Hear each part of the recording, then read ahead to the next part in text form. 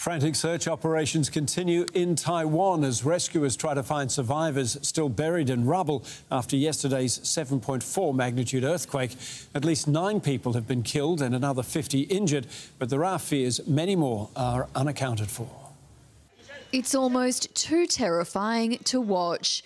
The desperate attempts to rescue survivors from buildings that are dangerously damaged and at risk of collapsing entirely. In this desperate race to save lives, tragic discoveries like this one. Rescuers here recovering the body of a female victim who was crushed as a building collapsed on top of her during yesterday's shock 7.4 magnitude earthquake.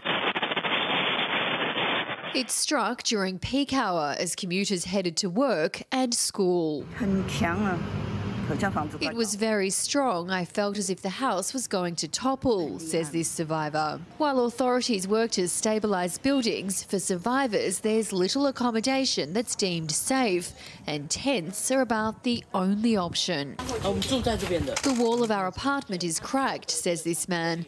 We live on the upper floors, so we don't dare to go home. At least nine people are dead and 900 injured, but dozens more are still unaccounted for for. We need to find out how many people are still trapped and to rescue them as soon as we can, says Taiwan's president elect. It was Taiwan's strongest earthquake in 25 years, the impact so great it was felt in neighbouring China. Tsunami warnings were initially issued as far as Japan, but have now been lifted. Even so, it's expected that tremors will continue over the coming days. Catherine Firkin for 10 News First.